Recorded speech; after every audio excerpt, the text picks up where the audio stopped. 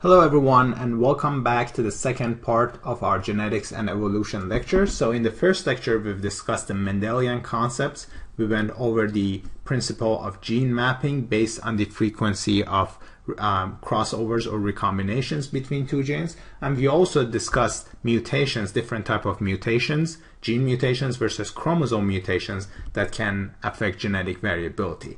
Now in this lecture, I would like to continue talking about different factors that can affect genetic variability, whether they are from errors or whether they are from population genetic effects, like for instance, genetic drift, talk about more analytical methods like for instance Hardy-Weinberg principle and test cross and then finally go over the evolutionary concepts like for instance natural selection speciation as well as the definition of evolutionary time. And then finally we will go over some practice question before we conclude this video. So continuing on with factors that can affect genetic variability. One other factor that can cause genetic variability in offspring is error during meiosis. And that this type of error that is referred to as non-disjunction is from failure of either the homologous chromosomes or the sister chromatids to separate properly from each other during meiosis. So if you recall, we mentioned how during prophase we have homologous chromosomes being lined up. And then during meiosis 1, what happens is that these homologous chromosomes will separate from each other, and then during meiosis 2, the sister chromatids will separate from each other. Okay, now if there is error, and for instance, in meiosis 1, instead of separating the two homologous chromosomes, they both go to one size. That would be an example of non-disjunction. Or let's say meiosis 1 happens properly, but then during meiosis 2, one half of the sister chromatids separate properly, but then the other half all segregate together. That would be another example of non-disjunction. And it would be problematic because presence of an extra chromosome can cause different problems. Like for instance, Down syndrome, which is from presence of three copies of uh, chromosome 21. So that would be problematic. So here I've shown you that there could be two types of non-disjunction. The first one that happens during meiosis 1. So these two cells that have no chromosome, no chromosome 21 at all. So here let's talk about Down syndrome for instance. These gametes will not survive because they don't have any chromosome 21. However, the other two gametes will have two copies. So there is an extra copy. And once this egg combines combines with a sperm that has another chromosome 21, a combination would be one chromosome from male, two from female, so it would be a trisomy. As a consequence of which these progenies will have three copies of chromosome 21, that is Down syndrome. Another way of having uh, non-disjunction is during meiosis 2. So during meiosis 1 here you can see that homologous chromosomes have properly segregated from each other. Here on this half also sister chromatids properly segregated. So these eggs will yield normal progenies. However, on the other side, there was a non-disjunction. So half of these gametes will be non-viable because they don't have any chromosome, and the other half, since they have an extra copy, once they are combined with the sperm, they would give rise to three copies of chromosome 21. So this gamete, if it um, yields a progeny, that would be an example of Down syndrome. Now, other causes of genetic variation is mispairing. So we know how set. So that's my memory aid that I've shown you in our reproduction and mitosis and meiosis video. So we discussed how we have purines are always pairing or at least are supposed to always pair with pyrimidines. And to be more specific, G pairs with C and A pairs with T. But in reality, there could be some mispairing that is going on. And for instance, a purine pair with another purine, like for instance, we could have AA pairing, or there could be G, G pairing. So these are examples of aberrant pairing. Alternatively, we could have aberrant pairing between purine and pyrimidine. Like for instance, A could pair with C, and that would be again another mispairing that could change the content of our DNA. And this mispairing event happens during DNA replication where a wrong nucleotide is being incorporated. Now, we could have a perfect DNA, but then the protein products could still be um, defective or have problem. And the reason for that is that DNA transfers its genetic material to RNA through the transcription process. And then RNA through the translation process with the help of the ribosomes and tRNA yields protein. And then here I should have mentioned that this is mRNA or messenger RNA and here we have RNA polymerase. Now, these processes are not perfect. There is a chance of an error. In fact, there is a chance of one error in every 10 to the power 4 to 10 to the power 5 transcription event. Or with the translation, there is one chance of one error in every 10 to the power 4 translation event. So we could still have a protein that have a different function from what the DNA was intending to code. All right, so these are examples of transcription and translation error. And then in the previous lecture, we discussed how mutations could be advantageous or they could be deleterious. They could also be neutral, not having any effect. For instance, if we have a silent mutation, that would be neutral. It will not cause any problem. Okay, so now let's discuss again the difference. So advantageous mutations are having a new function that will increase survival of the species in the population. And so therefore, the advantageous mutations are usually undergoing positive selection and the frequency of these um, genes will increase over time. So let me, let me give you an example. Let's say that for argument's sake that there is a human that develops a mutation that makes him invulnerable to cancer. He no longer develops cancer. This mutation increases survival of this person because now he has a healthy lifespan. Um, he doesn't develop cancer. His progenies, if they have that gene mutation, they would also not develop cancer. So he has better chance of survival to the rest of us who can develop cancer. So this is an example of positive selection. On the other hand, these, some of these mutations could be deleterious, where there would be reduction in the survival of those individuals who carried this mutation. Let's say, for instance, we have a mutation that increases risk of cancer. This would decrease survival of those individuals. So negative selection will act on this mutation and over time this mutation is usually eliminated okay because those individuals won't survive and won't have any progenies to pass on the gene the other terminology I'd like you to know is inborn errors of metabolism. And basically, um, these are referred to mutations that affect metabolism.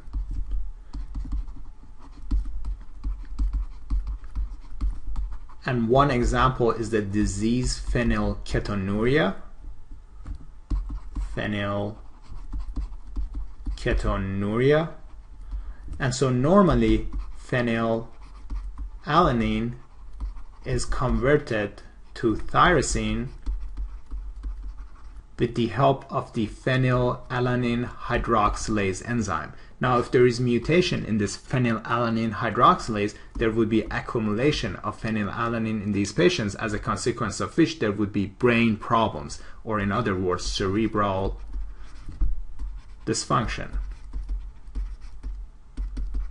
And so this is an example of inborn error of metabolism where mutations has changed the metabolism. Next, I would like to go over the definition of mutagens and carcinogens. So basically, mutagens are referring to any environmental agents like chemicals, radiation, or, or viruses that cause mutations in a DNA. Carcinogens, on the other hand, are referring to the environmental factors or chemicals or radiation or whatever factor that can cause cancer. And in fact, there is a positive correlation between increased rate of mutagenesis and cancer development. So the higher the rate of the DNA mutation, the higher the rate of cancer development. And so basically cancer is having cells that have uncontrolled growth. So there is no brake preventing them from growing and dividing.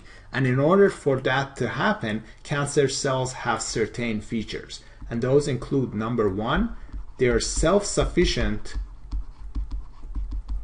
in production of growth hormones as well as cell surface receptors that mediate abnormal growth and cell division. These cancer cells are also, as we just discussed, there is no brake in preventing them from cell division and growth. So these cancer cells are insensitive to anti-growth signals. They can avoid apoptosis which as we just discussed apoptosis which which as we just discussed in a separate video is a cell program death that is induced by the body. So once the body sees that a cell is abnormal it will give it a signal to okay it's time for you to die. But cancer cells can avoid apoptosis. And then the other feature is that these cells are immortal because they have the telomerase enzyme. And so most cells in the body, they have a finite, uh, they can undergo through a finite number of cell divisions because with every division, their telomere keeps getting shorter and shorter until they can no longer divide. With certain immortal cells, like for instance, germline cells, stem cells, as well as cancer cells, they have this enzyme called telomerase that will prevent their telomere from shortening. So therefore now they can undergo unlimited number of replications. So here there could be unlimited number of replications.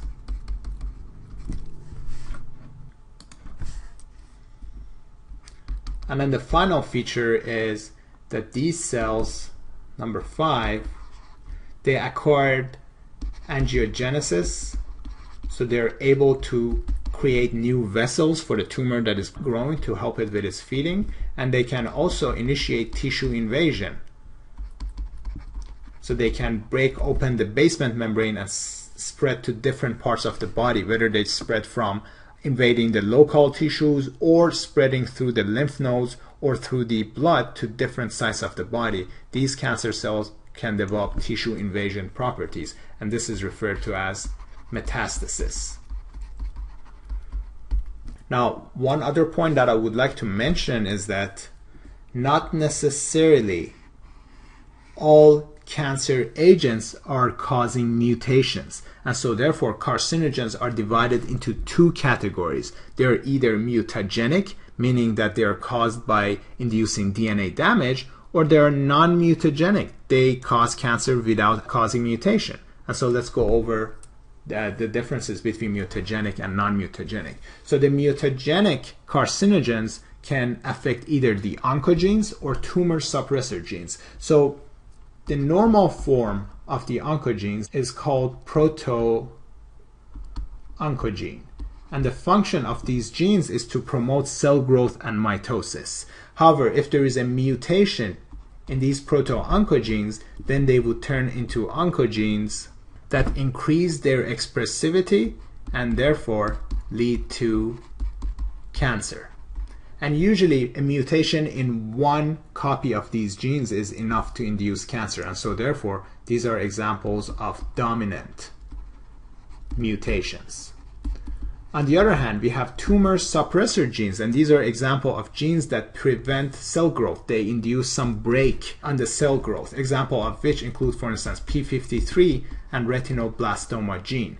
Now, there has to be mutations in both of these genes, both alleles, in order for tumor suppressor gene to lose its effect. So this is an example of recessive gene mutation. So from loss of the function, now there would be increased risk of cancer development. because these genes are no longer around to place a brake on the growth of these cells and so cancer then can, that can develop. Now examples of non-mutagenic carcinogens, basically these uh, carcinogens are not causing DNA mutation directly, like for instance alcohol is an example of a non-mutagenic carcinogen. And how alcohol can cause cancer is that it increases rate of cell mitosis as a consequence of which these cells now have reduced time and less opportunity in order to repair any DNA damage. So DNA damage now over time can accumulate and lead to cancer. But alcohol itself has not been causing any mutation in the DNA. It just increased the rate of the cell division. So this is an example of a non-mutagenic carcinogen. Next, I'd like to move on to population genetics. Okay, so basically population genetics is the uh, study of the changes in the distribution of alleles in a certain population. So this is study of the changes in distribution of alleles in a population. And there are many different factors that can affect population genetics, and these include, for instance, random mutations. Okay, any one of us can have a random mutation that over time affects the population genetics. There could also be natural selection. Let's say that there is a new flu virus that develops that kills most of the population that we live in, but there are some of us that are resistant to it because we have certain genes that help us to survive. So this is an example of natural selection that an event comes in, it wipes out part of the population, the ones that are resistant survive, and so consequently the genetics, the distribution of alleles in that population changes. Another example is genetic drift which is basically random fluctuations in the population gene variance. So genetic drift is random fluctuations in population alleles. And these are basically happening by chance and it's more pronounced it's more pronounced in small population because think of it if you're starting with a population that has only 10 uh, parental population is the size of it. Any fluctuation, any genetic drift in the uh, genetics of these 10 people will have significant effect if we look down the population 100 years from now. Versus if you're looking at a population that has like um, 1 billion individuals in that population, some random fluctuations in the population gene won't really have a huge effect. So genetic drift is most pronounced or most affected in small populations. Other examples of phenomenon that affect population genetics, for instance, is gene flow, where genes are flowing from one population to another. So let's say people that have migrated from all over the world to US, we have gene flow to US. So that's one other example. And then selective mating. If individuals in one population have preference to mate with certain individual with certain features, again, that could affect the uh, distribution of alleles in that population.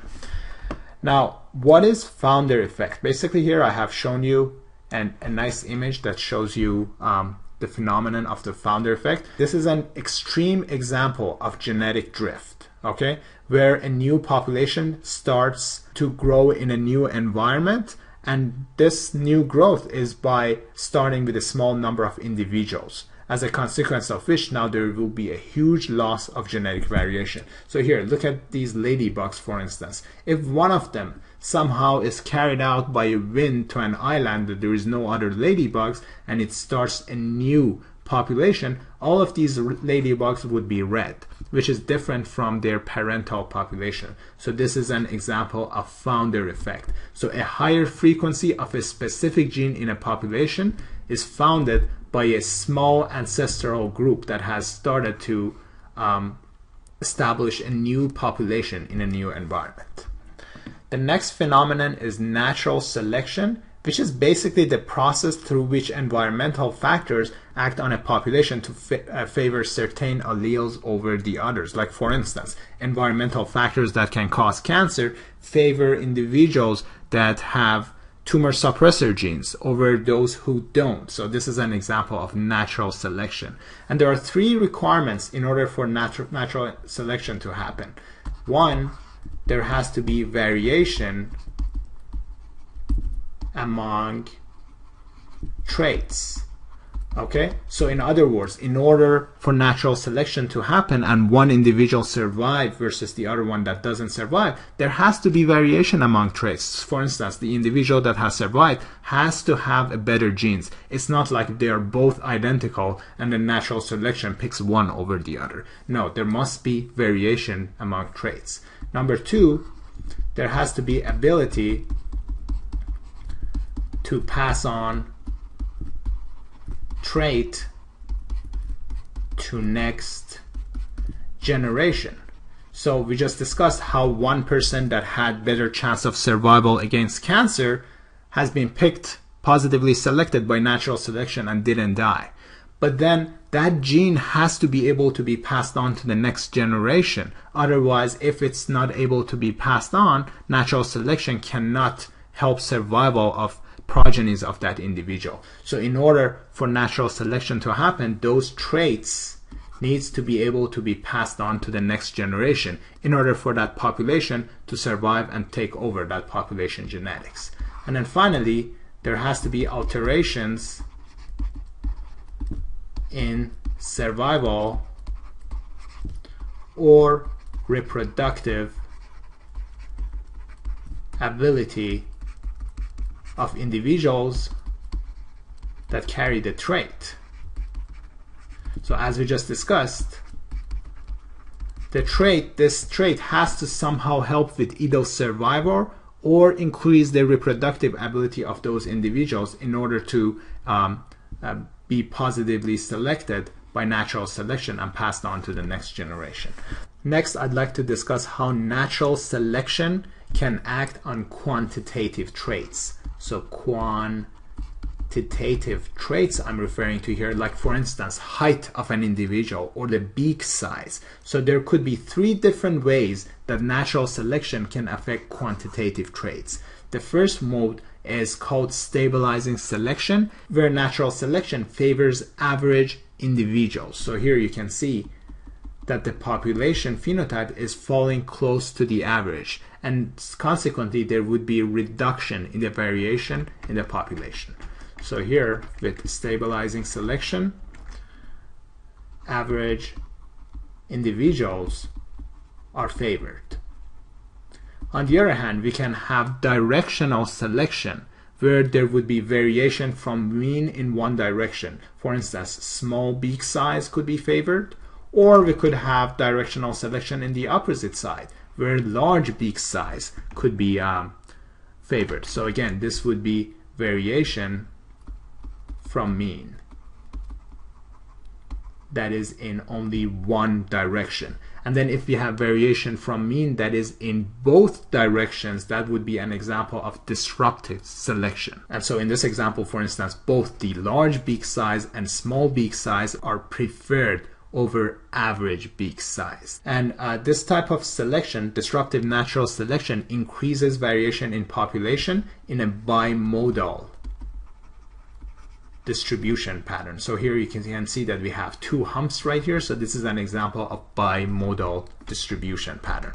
Next, we have the speciation process through which one species evolves into a new organism that can no longer interbreed with the original population in order to yield fertile offsprings. So speciation is where one species evolve into a new organism that can no longer breed with the original species in order to yield fertile um, organisms. And one example that I can give you is that imagine that we have a population of snake in Europe and another population of snake in United States. So there are two separate continents and assume that there is no gene flow. No one is moving these snakes around. So over millions of years, natural selection will affect these two species. There would be mutations that build up. There would be different um, phenomenon that happens on them that separates these two species from each other. And so therefore, a new organism will develop from every one of them. This would be an example of speciation. And so over millions of years, you'll notice that these two snakes can no longer interbreed with each other because they have evolved into a new species. Now, factors that can uh, attribute to the uh, process, of, process of speciation include, for instance, polymorphism, where there would be variation in the phenotypes within the same population. Like for instance, there would be difference in the uh, color of the eye. There would be blue versus brown versus green eye colors. So this is presence of two or more different phenotypes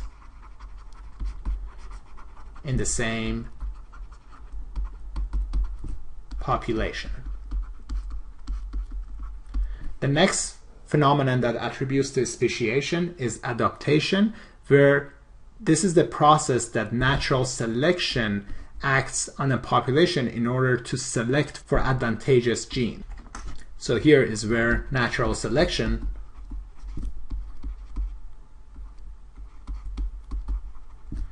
will promote survival of advantageous genes or in other words, it will promote selection of advantageous gene.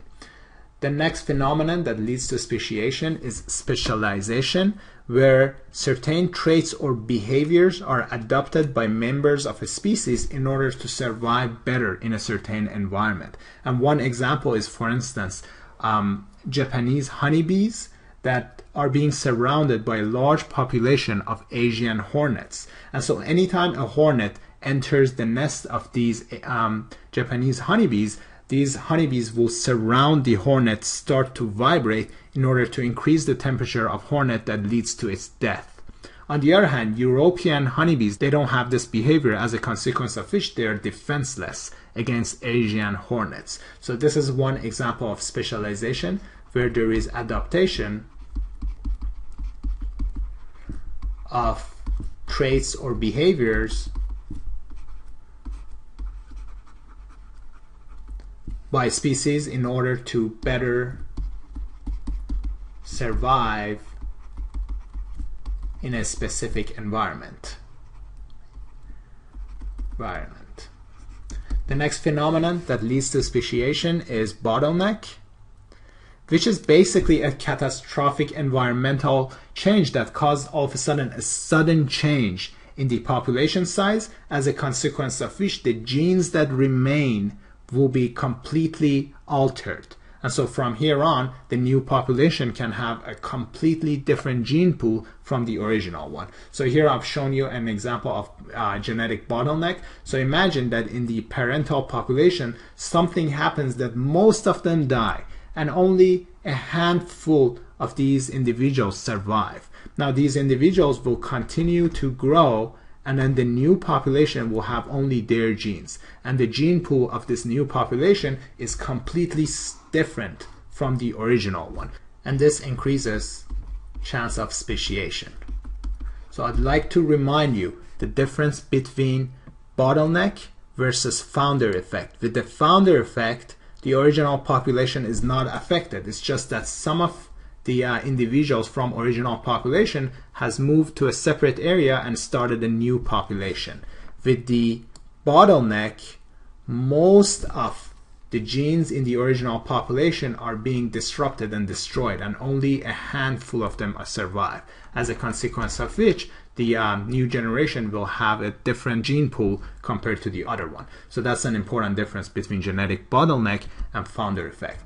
And finally, inbreeding is one other event that can uh, increase chance of speciation. And the reason for that is that um, inbreeding is actually increasing risk of accumulation of random mutations as a consequence of which over time the species can separate. There is a higher chance that these two species will, will evolve into new organisms. So so far we've discussed different factors that attribute to the uh, increased chance of speciation. Now there are some factors that uh, that can prevent and decrease risk of speciation and these include for instance outbreeding or migration.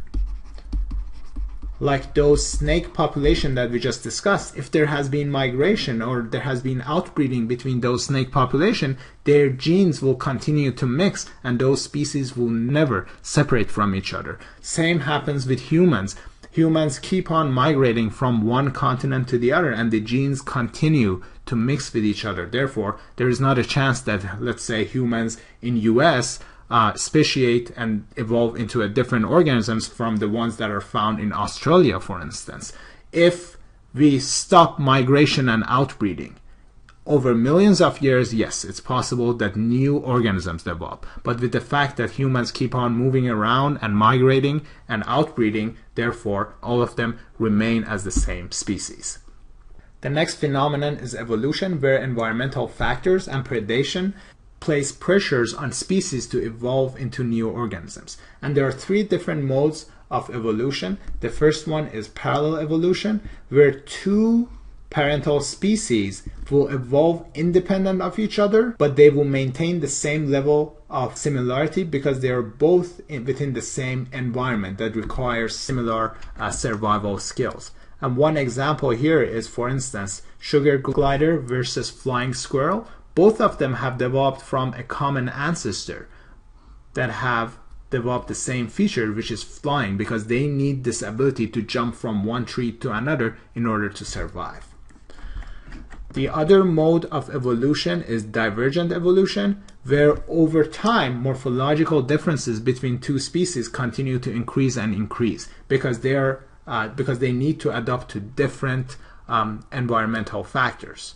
And one example is like, for instance, all mammals, if you look at them, the bones in their arms and their hands have developed into different shapes, which is for what they need to do. For instance, humans, they need to use their hands for um, moving stuff around versus bat needs to use them for flying. So they have adopted different shapes. So that's an example of divergent evolution where parental species started to develop different features.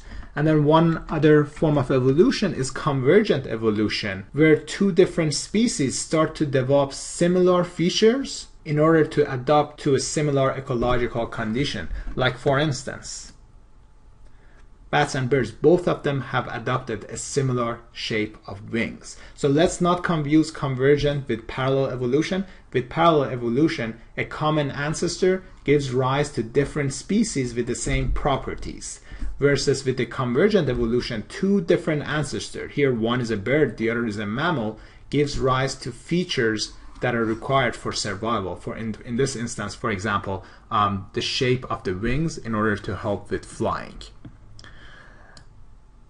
So that concludes discussion of different modes of evolution, parallel evolution, divergent evolution versus convergent evolution. Then moving on to molecular clock. Can you tell me, based on this graph, what is molecular clock? So based on this hypothesis, the rate of the DNA or protein sequence evolution is constant over time. So if proteins are evolving at a constant rate, therefore we can estimate based on the, on the differences in protein structure of different species, how far, how long ago these two species have separated from each other. So here you can see that the genomic dif difference increases over time. So if we see two species that have a very similar protein structure, then that tells us that, oh, it hasn't been long ago, maybe a million years ago, these two species have separated from each other. Versus if you see two species that have a lot different uh, features, like let's say, for instance, here you see bat versus birds, a lot of different features. In this situation, okay, maybe a hundred million years ago, because now the, their protein sequence is more different compared to the original one that we were discussing. Okay, so one more time, the rate of DNA or protein sequence evolution is constant over time. So therefore, considering that proteins are evolving at a constant rate, therefore now we can estimate the dates that species have undergone evolution and diverged from each other. And so in other words, molecular clock is telling us that evolutionary time could be correlated with the change in genotype. So if the genotype of two species is a lot different, then it means that these two species have separated from each other many years ago. Versus if two species like chimpanzee and humans have a very similar genotype, therefore these two species probably didn't separate from each other many, many years ago. All right, so that's the basis of the molecular clock.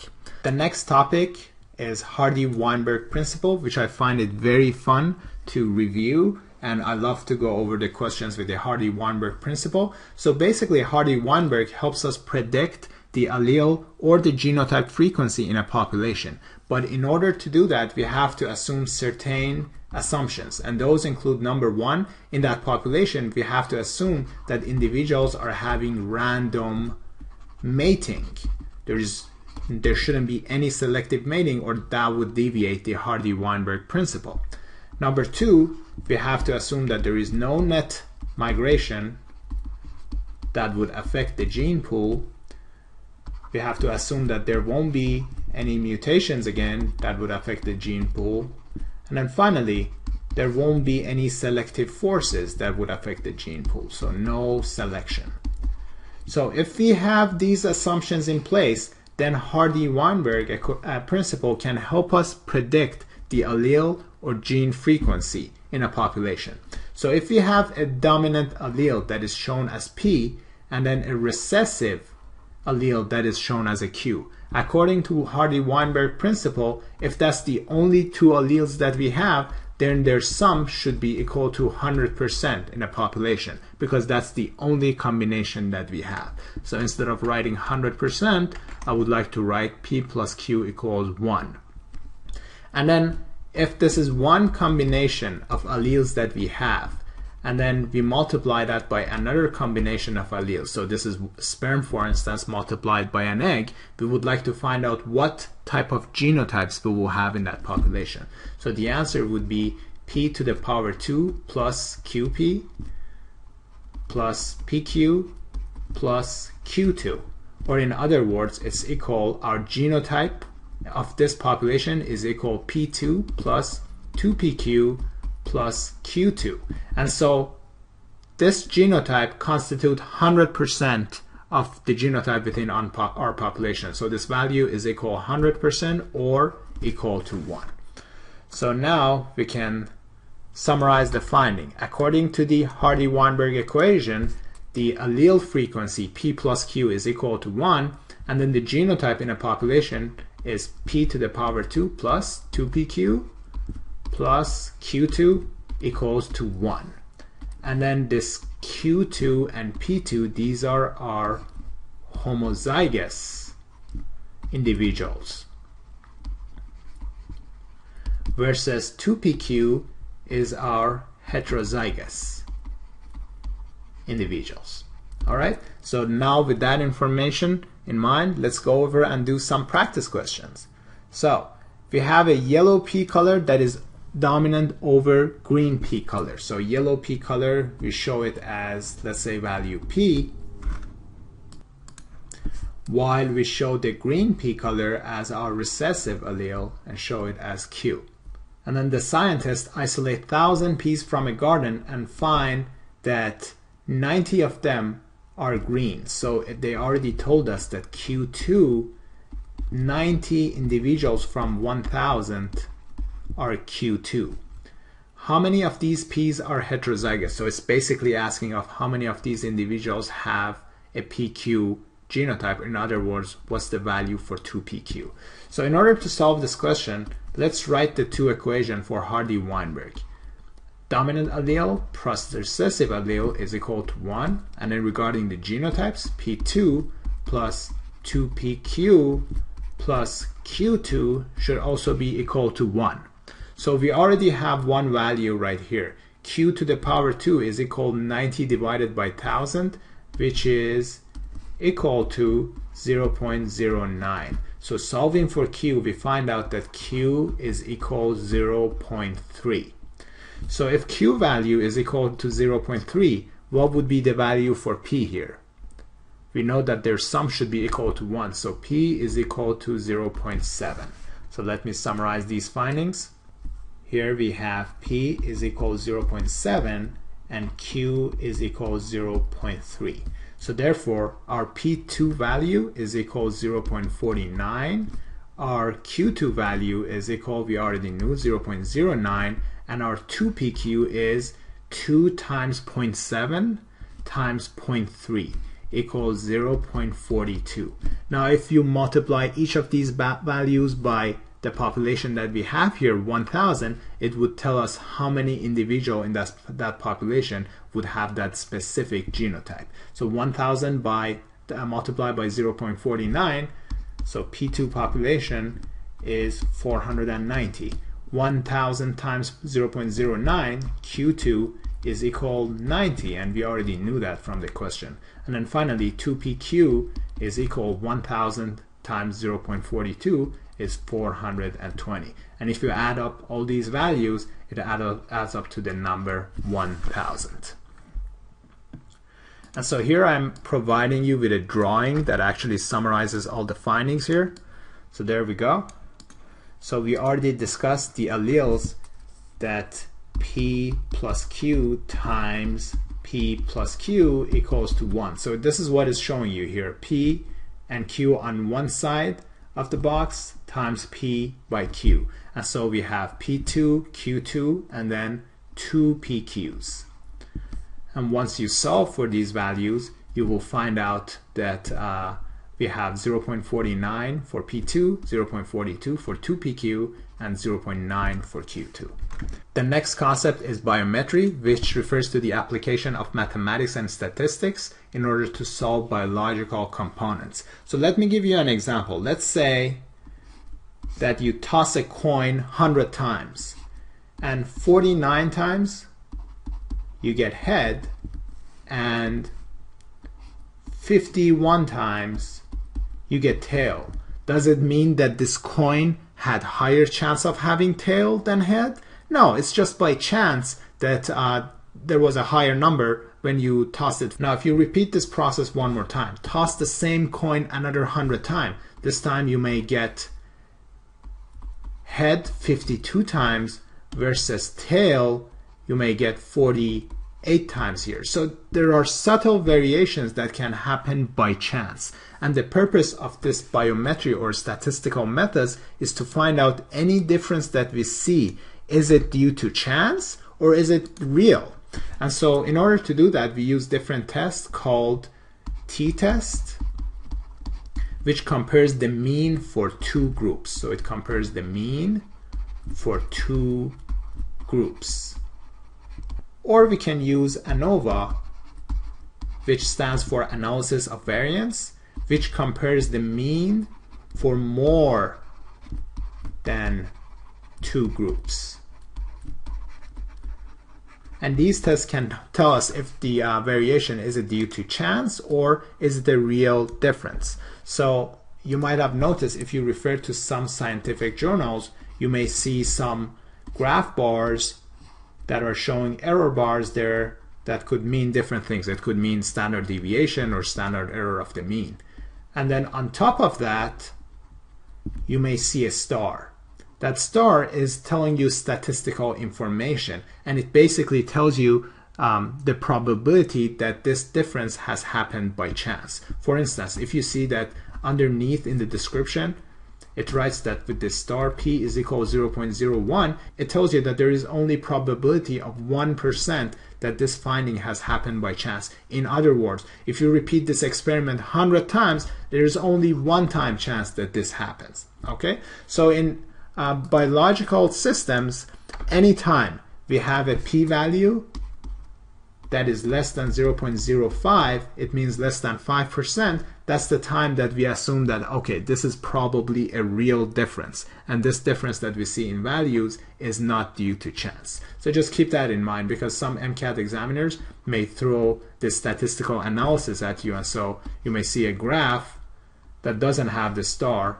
So these two graphs, there's no difference versus another graph could have a star and tells you the p-value. So then you know that there is a real difference between these two values. All right, so we are basically done with the content of this lecture. I just would like to answer two uh, short questions and then move on to the practice questions after that. So the first question is, what's the difference between transition and transversion mutations? Okay, so basically with transition mutations, purines replace purines or pyrimidines replace pyrimidines. So remember we had gas set, these two were purines, and then these two were pyrimidines. So with transitions, G converts to A or A converts to G. So that's an example of transition. Or C converts to C, T or T converts to C. So these are examples of transitions where purines remain purines and pyrimidines remain pyrimidines. Versus with the transversion, a purine converts to pyrimidine or the other way around. Pyrimidines convert to purines. The next question is what are teratogens? So these are substances that can cause physical defect in a developing embryo. So physical defect in a developing embryo. And we just discussed in our embryology lecture that organogenesis, which means the development of organs, happens between third to eight weeks of gestation, as a consequence of which it's between three to eight weeks that usually fetus is very prone to developing organ problems from exposure to teratogens. All right, so now let's move on to some practice questions. I'm going to read these for you. If you need more time, please go ahead and pause the video. In a population comprised of 1,000 members, 250 individuals exhibit a recessive trait. So here we are having another example of Hardy-Weinberg equation. What percentage of these individuals will have homozygous dominant genotype? Okay.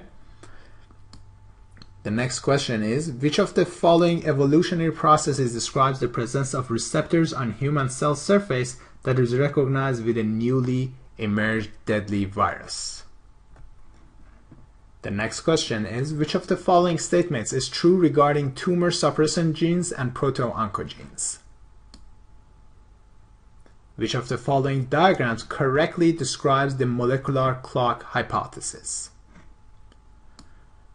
And then a patient is diagnosed with myoclonic epilepsy, which is a mitochondrial disorder. Remember, mitochondrial disorders are only being transmitted from mothers. So which of the following pedigrees most likely be belongs to this patient? And then the final question is, half of a plant population has a homozygous genotype and the other half has a heterozygous genotype. So P2 plus Q2 is equal to 0.5 and 2PQ is also equal to 0.5. Assuming that this population remains at Hardy-Weinberg equilibrium, what would be the percentage of heterozygous plants after two rounds of inbreeding? Okay, so if you need more time, please go ahead and pause the video. Otherwise, let's start with the first question.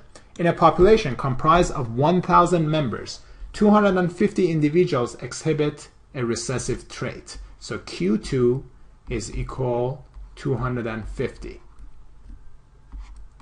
divided by 1000 meaning that it's equal to 0.25 and so therefore Q is equal 0.5 so if we write the Hardy-Weinberg equations P plus Q should be equal to 1 and then P2 plus Q2 plus 2PQ should also be equal to 1 we already know that Q is equal to 0.5 therefore P is also equal to 0.5 now the question is asking what's the percentage of patients that have a homozygous dominant genotype. So here we are asking what's the P2 population. So P to the power 2 is 0.25 And so the answer is 25% will have homozygous dominant genotype. If the question was asking how many of this population has heterozygous phenotype, then the answer would have been 2pq, which is 2 times 0.5 times 0.5. That would have been 50%. And we already know that the population of homozygous recessive genotype is 25%. So here you can see that they all add up. 25% homozygous dominant, 25% homozygous recessive, and then 50% is um, uh, heterozygous. So all of them add up to 100% or 1. The next question is which of the following evolutionary processes describes the presence of receptors on a human cell surface that is recognized with a newly emerged deadly virus? So one example is like, for instance, HIV virus. It's a fairly new virus. Uh, if you look back a thousand years ago, there was no HIV, but there has been a new mutation in the virus that is now uh, recognizing human receptors. So let's see which of these phenomena best explain this finding. So convergence evolution of a virus and cell receptors. No, basically convergence evolution tells us that they've developed the same property. We are not talking here about the same property. We are talking about the virus attacking a receptor. Genetic bottleneck favoring rare viruses that recognize cell receptors. Again, that wouldn't be correct because this virus was never around. We are talking about a new virus that has developed. Positive natural selection favors random mutations of the virus. That's correct. This virus has developed a new mutation, random mutations, that now makes it able to attack human immune cells. And so this virus has now a better survival because it can spread around. So that's an example of positive natural selection. And the negative natural selection favoring cell receptors that are recognized by the virus if it was negative natural selection, then those humans would have been died, right? It wouldn't have been spreading. So that wouldn't be a correct answer. The next question is Which of the following statements is true regarding tumor suppressor genes and proto-oncogenes? So, decrease their expression and promote cancer. No, that's incorrect. We just described how mutations enhance the activities of these proto-oncogenes as a consequence of which there is more growth and cell division. Tumor suppressor genes promote apoptosis. That is correct because these tumor suppressor genes we just discussed, it plays brakes on a cell growth and division. So it can also induce uh, and promote apoptosis, which is a programmed cell death. Proto-oncogenes code for DNA repairing enzymes, and that is the definition of tumor suppressor genes. Proto-oncogenes uh, express the growth factors. And then finally, mutations of proto-oncogenes often lead to the loss of function followed by a cellular transformation. So it's more with the uh, tumor suppressor genes that there is a loss of function if there is mutation in both genes. With proto-oncogenes, there is a gain of function because a single mutation has made the gene to add in, to, to develop a new function and become more active. So therefore choice D would also be incorrect and choice B would be the correct answer. Which of the following diagrams describes the molecular clock hypothesis? So we just discussed how as time goes by, the genetic diversity increases. So this is how the graph was showing. And so therefore choice B would be the correct answer.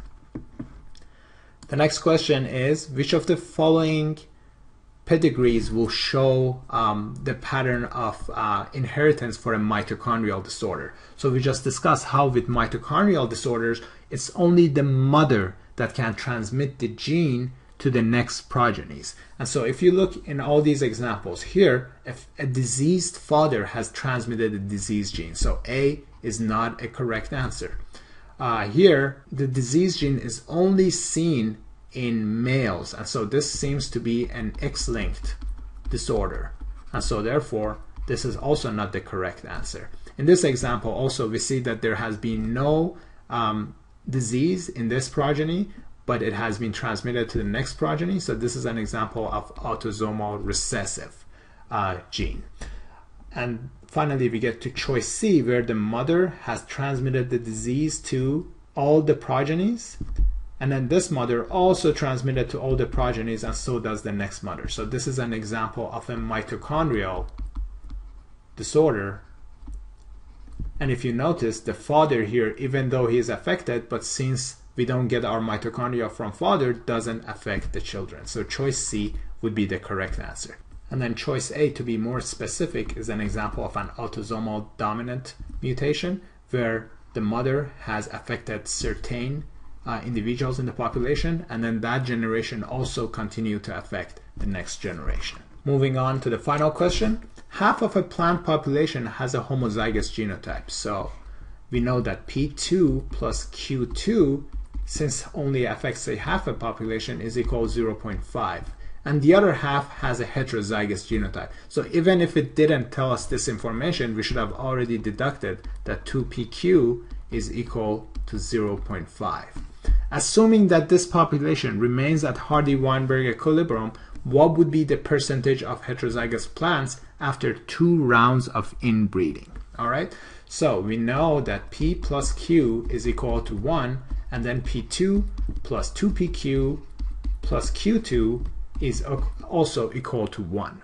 Now solving for this equation, we will see that the value for P and Q is equal to 0.5 because 0.5 to the power 2 is equal to 0.25 and then 0.5 to the power 2 is 0.25 their sum is equal to 0.5 on the other hand 2 times 0.5 times 0.5 gives us the value 0.5 so if you solve for these equations you find out that P is equal to 0.5 and then Q is equal to 0.5. So now if we have P2 plus 2PQ plus Q2, let's see what percentage of our population here would be heterozygous. So we just discussed 25% homozygous dominant, 25% homozygous recessive, and then 50% is heterozygous. Now, if you're talking about two rounds of inbreeding, these would be true bred, so they would continue to be P2 and Q2. But here we have to see what happens to this population once they undergo inbreeding. So PQ times PQ, it would give, give us P to the power 2, it would give us Q to the power 2, and it would give us 2PQ. So we have P2, Q2, PQ, and QP. Okay, so in this population, only half of our uh, progenies are having a, a, heterozygous phenotype. So the 50% value has dropped now to 25% are heterozygous. Now if you repeat the same phenomenon again, PQ times PQ, you will get only half of this population would be heterozygous. So here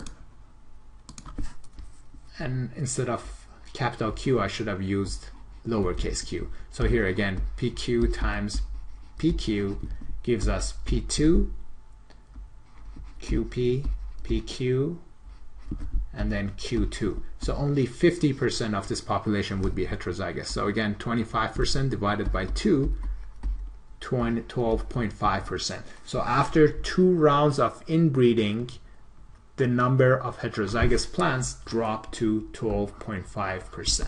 Alright, so that concludes our discussion of this video. We have covered all the topics that are listed here. Uh, and these topics again are very closely matching to the topics that are listed on the actual AAMC website. So thank you all for listening and we will see you for the next video.